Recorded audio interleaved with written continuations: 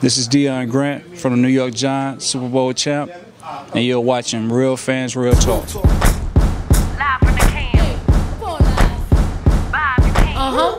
This is real fans, real talk. talk. Real fans, real talk. We as real as you thought. Real fans.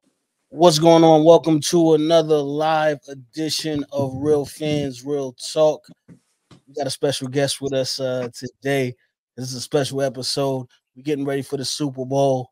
Um, I had, I had a little disappointment this this weekend. Y'all know what's up. We're gonna talk about that a little bit later. Let me introduce first my co-host, Eric Sanchez, aka Legend in Two Games. What's going on, man? what's really good, bro. You know, we got a lot to get into, and it's a great opportunity with the young man that we have featured today to talk some good football, man. Facts, facts, facts. Um, let me. Th- th- this young man is somebody who I, I've been watching him play football since he was like eight years old. This is actually not his first appearance on Real Fans Real Talk because he was he was on the show maybe I think nine or ten years old. You you were on Real Fans Real Talk when we were in the studio along with the with the rest of the Glen Cove Cardinals after y'all had won the championship um Yeah. in Long Island. So this is actually your second time, but Mhm. uh two-time NYC CHS uh football league champion. Did I say it right? Yeah, sounds about right. Yeah. All right. Yeah. Two-time back to back to back champ at the quarterback uh position, and now uh the the newest uh quarterback addition to Rutgers University. I see you got the shirt. You got the shirt on today. Rocco, what Right. is going on, man? What's going on? Thanks for having me. Appreciate you coming on the program. Um, I had to because you know, I um, I, since I I've, I've been with you guys for so long. Like when you when first of all, when y'all win the championship, I automatically win the championship as well as part of the media for the team. I feel like you know how like the, the team doctors and everybody get a ring. I you know I feel like I get a championship too. Um, Yeah. but to see the growth um with it with you guys from youth football to becoming a high school uh, champion, and then now getting ready to go into the collegiate level, playing for Rutgers University. University. Just talk to me about the, the football journey. Uh, it's been a long process. Um, I knew I always wanted to play in college, so it wasn't really like an option. Um, I got lucky coming to Holy Trinity, and um, I came at the right time with the right coach and the right people. And uh, we won a lot of games, and we got a lot of attention, and it helped me get to where I'm at now. Rocco, I wanted to ask you because a lot of people who, who love sports and grow up uh, playing sports, as you mentioned, you know, your goal is to get to that next level. Yeah. What was the recruitment process like? Um, Um, speaking with coaches, visiting schools, what was that whole process like? Yeah, it wasn't it wasn't the funnest thing in the world at times. It, it was pretty stressful for the most part. Um, a lot of no's before yeses. So it was cool. It was really cool to see colleges and uh, get around and having the opportunity to play at Rutgers was something I could have only dreamed of. It was the school I wanted to go to when I first saw it. Um, it's a long process and a lot of people hate it, a lot of people love it, but I'm happy where I am now and I couldn't be more grateful. Yeah, you you you in the, you in the tri-state area right now, um, at, at a school that is starting to regain some of that popularity that they once had, especially with the success of Isaiah Pacheco and what he's doing with the with the Kansas City uh City Chiefs right now, with them going to to the Super Bowl. Um, but before before we get to college, you guys um you guys had a little bit of adversity. You, you changed coaches your last year.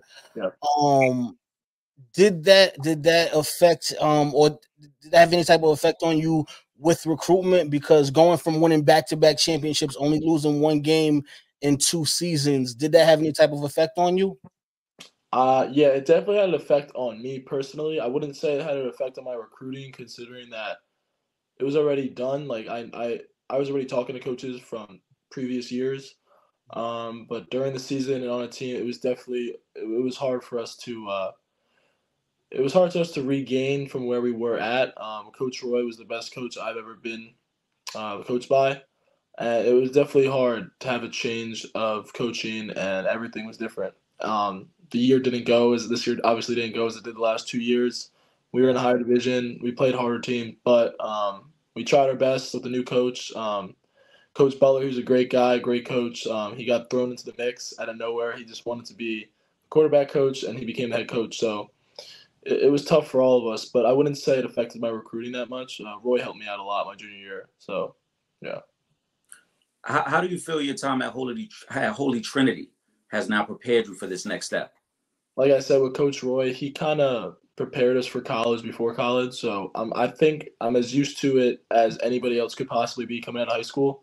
Um, obviously, it's a huge step going into college, but uh, I think I'm as prepared as I could be at a football standpoint when it comes to that. All right, so I, now I want to talk about your, your style of play a little bit right now because personally, I compare your style of play to Josh Allen, who I, who I, I, I would say is top five quarterback in the league just because you're a dual threat quarterback. Who would you say your your style of play is closest to right now in the NFL? I personally think I like to compare myself to Brock Purdy. I love him. A lot of people don't. I just think he's like a great quarterback and all around a, a winner. So that's who I compare myself because just like the size and stature of him and the way he plays, I think that's who I am most actually compared to physically and yeah, how he plays the game. I want to talk a little bit about the recruitment again with Rutgers. Mhm. Greg Schiano there as the head coach. What was that first meeting like with him, and what was it about Coach Schiano that kind of drew you and made you want to go to Rutgers? So I was with my um my friend Dylan Braithwaite, who's at Rutgers right now. I kind of went through his whole entire recruitment process with him, the year before, the year prior. Um, I was with him when he committed. I was with him when he got offered, which was the same day. But um, it, was a cool experience, and just like being at a Big Ten school, it's not like nothing else. Um, Schiano is a great guy, great coach who I've known for a while, who I know people who know. Um, he really cares about family and football, and it's all about, like he says, chop. Um, I knew it was the place I wanted to go before I even had a shot of going there, so it was a no brainer when he gave me the shot. Um, but yeah, he's a tough guy, a serious dude. Um, he's just a great coach. Now, I want I want to go back again to I would say my favorite game of yours uh in in high school, which is Yeah. kind of brings things full circle. Full circle, yeah. Is the, the, the was the battle for Bridge, yeah. Battle for the Bridge. Uh, you guys played at Rutgers University, probably the biggest stage you guys Yeah. have played on.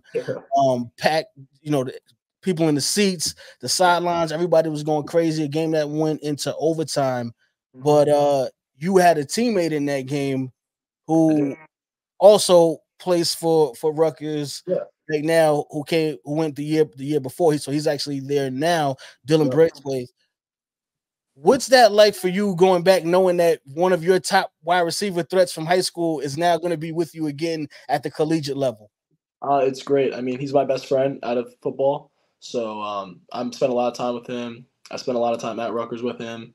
I know a lot of people at Rutgers, and I'm more than excited to be with him and with more than just him. I got my boys KJ and Ian from Long Island, so we got a lot of Long Island kids representing uh, Rutgers right now, and I'm really excited to work with them all. So it's gonna be cool. Uh, that, like you said, that must be an amazing feeling to already have that comfort level Yeah. with certain people on campus and on the team. Yeah, yeah, yeah. I'm definitely not going in there blind. Yeah. Gotta love it. So now this year, because you are you are incoming incoming freshman right now. So what's your focus going into your, your freshman year? Um, learn. That's my main focus. Just learn. I'm not going into it knowing I'm going to play because I know I'm not. My freshman year, I just want to sit behind these guys who've had the experience and uh, just really learn what it's like. The whole nother level. It's a lot faster, a lot more demanding on the brain at the quarterback level. So the quarterback spot. So I'm just excited to get in there and learn and get on the field as fast as possible. No, knowing that Rutgers was always your number one choice, as you mentioned, and then spending some time on campus, did you find yourself at times kind of scouting the other Big Ten teams, like seeing what they're running defensively and, and what you, you're going to be going up against? And even though, like you said, you don't expect to play this year, Right. um, obviously you're not expecting to sit for long. At some point, you're expecting to take over. yeah. Um, yeah. I mean, I guess I could say I looked at their defenses, but um, that's something I'd probably get more into in college. Um, I mean, we play the best schools in the country, so it's every Saturday. Whatever game I'm watching, I know I'm probably gonna play that team eventually. So, yeah, I mean, it's cool. Absolutely. Uh, Will Gordon in the building. What's going on, man? I see the I see the, the, the people is checking in with us right now. Um, all right, so I want to ask you this, you know, because I want to go back to that this your, your junior year after coming off the the second championship. Mhm. Um, you guys lost uh, a wide receiver uh, who was ranked the number one player in the state. How much did that change things for you guys offensively and what you what you did going into the season? Um, it was definitely hard, you know, losing a weapon like that. Um, I wouldn't say it changed much in the long run, just because um, we never based it off one person. Anytime we won a game, um, like I said, it was more overall just losing Coach Roy and um, having to regain a form of leadership, which was pretty hard. But yeah, it, it was hard losing Josiah Brown, and you know, I wish the best of luck for him too at Penn State. But um, You guys may play each other at, at some point. at some point. At some point. But yeah, it was tough. It wasn't something that we expected, you know, after the season. But he wanted to go back to his hometown, which is respectable. So it is what it is. Guys, yeah, the, the, the show the show must uh must go on. Yeah, yeah. I mean, that's a tough part of the game, but you're going to cross paths with a lot of these guys at the next level, of course. Yeah, I mean, more than I would ever think. Yeah. Got you. Um, well, we, we we're talking to the newest addition to Rutgers University uh, quarterback uh, right now. He's going to be the newest quarterback for Rutgers University. Uh, he, he got a little weight because he's going to be a freshman, so he probably we're going to see him more. You know, probably like sophomore year. But I'm gonna call I'm gonna call Coach uh, Greg up. See, you know, when I come down to the game, I want to see what's going on and uh, see what we could we could make it happen. Yeah. So, all right, so tell me this. I, I do want to talk because right now we got one of the biggest games in football coming up. Um, I know you just said you kind of liking your game a little bit up with uh Brock, Brock Purdy's. Right. You do have a, a, a Rutgers alum playing on the other side for the Kansas City Chiefs. So who are you rooting for in this game? I'm rooting for the 49ers. If I'm being blatantly honest, I want them to win. I want I love the I love the Chiefs, but I'm kind of sick of them winning, and I really want uh, a little change up going on. But you know, Patrick Mahomes is the guy, and he's gonna be pretty hard to take down. And Pacheco's had an unbelievable season, like always. He's a stud. It's gonna be a tough game. I think it's gonna be a great game. I've been hearing a lot of talk about a blowout on the 49ers, which I just totally disagree with. But um, I think it's gonna be a, a game, a really good game. The, the Chiefs trying to do what y'all did, win win back to back. You know Yeah. I'm not opposed to anything happening. I'm not a fan of either team, so but you know, we got that Rutgers on Rutgers blood on the Chiefs side, so I'm always rooting for him. But I got you. Shout out, shout out to my guy Lenny Parisi in, in, in the comments right there. He he wants to know who, who brought you to your first Rutgers game. that would be Lenny Parisi. Trick question. They, Um, they- they know Lenny on Twitter too. Twitter, like his, his his name ring bells in the Yeah. Twitterverse. He had a little beef with, with some of the fans at an, an opposing school that uh that, that Holy Trinity beat. Um, I, I think it was in their homecoming game too. uh, yeah, it was Kellenberg. That was hilarious. Yeah. Yeah, so there was a little Twitter beef going on right. there. Rocco, as, as we talked about you guys winning back to back championships, Uh-huh. how tough is it to stay focused during that second run? Something that Kansas City's trying to do themselves. Um, just don't let anything get to your head. Um, it wasn't that hard to stay focused. Uh, we moved up a division, so it wasn't like we just had a chip on our shoulder to keep winning. It wasn't like anybody was expecting us to win again. Um, so it was kind of like that kind of thing. We was trying we was trying to get the three peat, man. That's what we wanted. We wanted the three peat. I Out wanted, it crazy. I wanted it bad, yeah, but it is what it is. That's Over good. and done. Hopefully we'll get one. We'll get one for Rutgers when uh when, when you take over. Yeah, get to the college football playoff. That's the goal. Because then that'll be that'll be youth, high school, and college. You got a championship in. I think that's a good resume going getting you know getting ready to go to the next level. Yeah, that'd be pretty cool. You know, if we, you know, obviously the playoffs in college have switched this year, so everybody's got a shot now. It's not going to be all political with the change in. I think it's what twelve teams, right? Yeah. Hey, um, Trevor, I'll say bring up uh, Will's question. This is a good question we got in the in the comment section there. Mm-hmm. Go ahead. Eric. He uh, he wants to know, young man, when did you start playing quarterback, and when did you realize you could make it at a D one level? Um, I started fully playing quarterback in seventh grade. So I was only playing running back before. When you met me on the Cardinals, I was I don't even know what I was.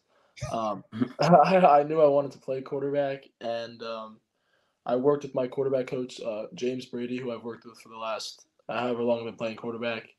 Um, I knew I could make it probably my freshman not knew that I could make it, but I knew I had to make it. Like I wasn't I was in the mentality where I only wanted to play Division One football. Not saying I wouldn't have played it if it didn't go my way, but um that's what I wanted to do. So I just worked my ass off and it um with people around me that were going to Division One schools, it became a reality in high school. So yeah. Shout out to to, to Will Gordon. And, and by the way, Will is a, a Terrapin fan. So he, he, he will be paying attention to your career at Rutgers. He, he, he knows you guys are going to cross paths at some point. For sure, for sure. Like, we, we definitely I told you we definitely uh mobbing out as soon as, soon as Rocco get ready to take over we mobbing out uh to Rutgers Yeah. and um and, and going to a couple of games. Actually, you know what? Lenny Parisi actually took me to my first Rutgers game too. so there you go. Shout Shout out. got season tickets. Yeah, yeah, yeah, he does. Yes, he, he does. He does. I, I won a couple of times. Will wants to know, uh, did you play any other sports? Yeah, I played baseball my whole entire life, which I was arguably better at baseball than I was at football. I ended up falling out of love for baseball freshman year of high school and just focused on football after that. But yeah, I was a big baseball guy. Played lacrosse, played all sports growing up, but um, I was big with baseball. But it didn't. I just didn't love it. Like once I started getting good at football, the the feelings just weren't the same towards being on standing on a baseball field all day compared to just all the pressure of being a quarterback. It just wasn't the same feeling. Now, did you ever think because you know that base baseball money is is very mm-hmm. good, and then when you got to take into effect the, the physical punishment that you Yeah. take on from from football, did that Yeah. ever you know weigh in on your mind? Nah, I never really thought of it like that, but I just didn't love it the same. Like there was just no feeling like playing football and being on the football field and just me versus everybody. I just didn't love baseball like that. It was too boring for me. I just like the excitement of football. But yeah, I love baseball and always have a spot in my heart. But I did play baseball my whole life before I played football. But yeah, that, that's about it. Do you feel? I mean, we hear a lot with with Mahomes and how he played baseball and how it helps him with throwing off off balance and different arm angles. Do you feel the same way as a quarterback that baseball has helped you in that way? A hundred percent. And I don't think I would be the same if I didn't play baseball growing up my whole life. But yeah, it, it really does help. And Will, Will, Go- Will Gordon wants to know uh, what position did you play? He's he's guessing either shortstop or outfield. I did play shortstop. Yeah, I played shortstop and I pitched. Okay, now and you wouldn't you wouldn't get back into it though, because because I know Rutgers, you know they got they got the baseball team up there too. Way too good, way too good at baseball for me to start up again. I was Um, gonna maybe play. I was gonna maybe play this year, but I didn't even think about it now. But yeah, no, absolutely not. Um, it would be cool, but those guys, that's a they're a solid. I mean, they're probably they might be better at football than they are at baseball than they are at football, uh, ranking wise. So, yeah, it's not something I'd be able to just jump into again after five years. But That's a long time. That's a long time away from the game to just start playing again. uh, especially at that level. Big shout out to everybody that's on the live. I see more and more people is uh checking in. Um again, we we, we are here with uh with with the two-time two-time champion Rutgers newest QB. Um Rocco's been rocking out with us. Um I do I want to I want to talk a, a little bit more NFL um while we got you on on the program. I want to talk about this AFC championship game. Mhm. Um Rocco from from the quarterback standpoint and being on that field, where do you think Baltimore went wrong um, against the Chiefs? running the football. Just that simple. Um, I don't know. Lamar looked a little shaken up, which I haven't really seen all season. Um, they ran the ball, I think, what, 20 for one time, something like that in the first half, six times in the second half. It just didn't seem right. Um, Chiefs have a better run defense than pass defense. So, I mean, the Chiefs have a horrible run defense and a really good pass defense. So, I'm surprised they didn't attack that more. But um, from a quarterback standpoint, I don't think Lamar did anything wrong. He just looked a little rattled at the end, but he made big plays. Um, you know, that Zay Flowers, that whole thing at the end, that was tough. That's tough to come back from. Yeah. But it was a good game. I wanted the Ravens to win. Yeah, I mean, you, I you, really you mentioned Lamar. You met I Trip wanted Lamar as well. That's he's he's still heartbroken. Yeah, Um, You you mentioned a great point because it was one of the things that Trip and I we were texting during the game. The Ravens never never committed to the run game. Um, as you mentioned, even though they had 21 rushing attempts, eight of those are Lamar scrambling. So those weren't even really drawn up run plays. Those were him improvising. Uh, they kind of went away, I thought, from what their game plan should have been, which has been to run the ball, set up more play action, and then kind of get the Chiefs off balance. They allowed the Chiefs to sit, I think, in a lot of cover two the whole game. Yeah, it was it was definitely something weird that I did not think that was going to happen. I mean, most teams do attack the Chiefs on the ground, so I don't know if it was the offense coordinator, but it was weird for sure. Uh, who's over there? Todd Monken, I believe, is their old, old coordinator. yeah, I think so. He, he was getting uh, a lot of hate after that game for sure. What Yeah. You're you're a Brock Purdy fan, as you mentioned, and Yeah. you hear a lot of the criticism. There, there's people who praise him. There are a lot of people who criticize him. A lot of people Um, criticize him. They call him a system quarterback. Yeah, I've heard it all. I wouldn't say I'm a fan, but I do like the way he plays, and I don't. I don't think the system quarterback should be named to anybody that plays in the NFL because I think that's a horrible name Mhm. to say to an NFL quarterback. He's won so many games, and I mean, you see what he did against. He came back in the second half and just absolutely killed it, and um, that's not something just a guy who just could throw routes um, and with no pressure could do. So he could take pressure, he could do all the things. Um, I wouldn't say he's at a level like Patrick Mahomes. I mean, I like Lamar the best just because he's just so good at everything he does. But um, yeah, he's a pretty good quarterback. So I think he deserves a lot more love than hate right now. And let's see what he can do. I mean, all talk um, in two weeks, so we'll see what can happen. What he's gonna do. Yeah, I, I think I think the moment may have been too big for them because it was a lot of bad penalties. They they were racking up back to back. Yeah. Zay Flowers fumble, you know, in the in the end zone, I mean, on the goal line. So, but you know, it- they definitely should have ran the football a lot a lot more, especially you know with Lamar coming off of 100 yards rushing and two touchdowns the week before. It was like, you know, what happened? Why- Why'd y'all change the game plan and try to force the pass uh, so Right. much? You know, um, in regard to, to Brock Purdy, yeah, man, he's he's he's done nothing but win. Yeah, know, like, as we talk about him, he's done he's done nothing but win. Obviously, I mean, no nobody's just going undefeated like that. Everybody's taking a couple losses, but for the most part, since he's been there, they've been winning. And um, you know, he's a young kid. He's young, man. He's really Yeah. young. Like he's got so much time to do so much stuff. So exactly. Let, let me go to Will. Will got another question Like- for you up here. Yeah. Will says, "Was Rutgers the best opportunity for you to play, or did you have a connection with the program and with the portal? How does that make you look at the landscape of the game?" Um, I wouldn't say Rutgers is was the best place for me to play at, like the highest level of football I could have played at. So it was definitely the best opportunity I had to play at a high level that I think I could play at. Um, what do you say? Uh, what is it? The uh, yeah, the transfer portal. I mean, now being in college, it's not really something that I want to even think about because if I keep that in my head, then it's just gonna bother me.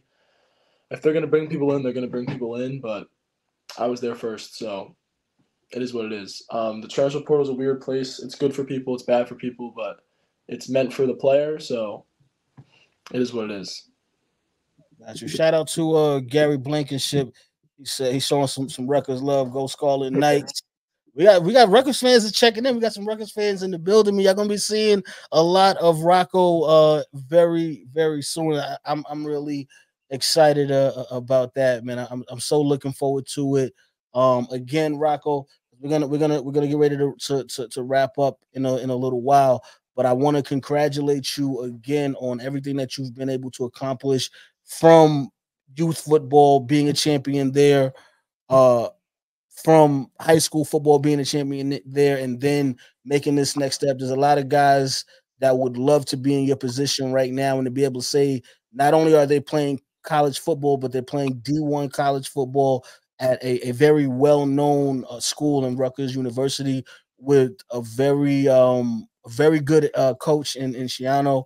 And um, so that, that that's that's the big thing. I'm, I'm so I'm so proud of you guys and what you've done. Thank you. It means a lot. I'm more than happy to be where I'm at. So I can't wait. Yeah, I see. I see. Uh, yeah, Will say he's rooting for you. Um, Except when you play against the Terps. Uh, they got the best of us the last two years, but uh, we'll see if uh, what ha- two is gone. A little two is gone. So yeah, that's gonna change as soon as soon as you know Rocco gets to the school. All that's changing. all we needed was that little uh, little Tagovailoa guy to get out of there. 'cause He's the problem. He was, a, he was a serious quarterback. I wonder what he's going to do. He's got another year. He's trying to push for a six-year eligibility, so that's going to be interesting. I seen somebody to that just just popped up that did that is going to be playing for Rutgers. They, I saw um, that too. Yeah, did see that. I, I don't actually know who that is. Um, I know he's been to a lot of schools. I think he came to Rutgers last year. So yeah, Yeah. I think he pushed for his six-year eligibility this year. But you know, that's another thing too. I mean, eligibility has become the weirdest thing in the whole entire world. Um, Yeah. it's good and bad, but you know, you I mean, some people, yeah, some people are abusing it. We're seeing some of them that are getting a little out of hand. Do you? I know going into this freshman year, as you already mentioned, you, you aren't expecting to play this year. Have you already decided to redshirt, or were you Well, going to kind of wait till we got a decided- little closer? They decided for you, but Okay. yeah, I'd redshirt for sure. Okay. I mean, I don't see myself getting in the game, so it, it would be a no-brainer. To redshirt have five years eligibility, so yeah.